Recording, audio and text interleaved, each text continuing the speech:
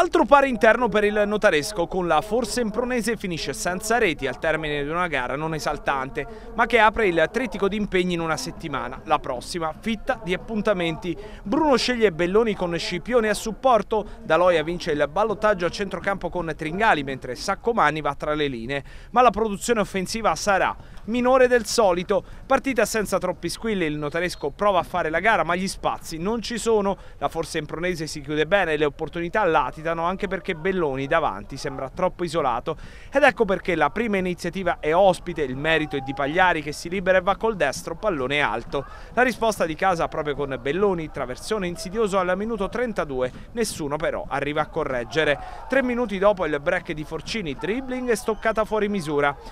Bruno lascia negli spogliatoi Daloi acciaccato per Tringali e poi inserisce Ranieri per Belloni e il centravanti al cinquantesimo lanciato da un servizio illuminante di Scipioni brucia Camilloni ma manca di un soffio la porta Sempre l'ex Sambuceto protagonista due minuti dopo, il tiro respinto di Di Bartolo diventa un assist per il suo sinistro, deviato da Marcantonini in corner.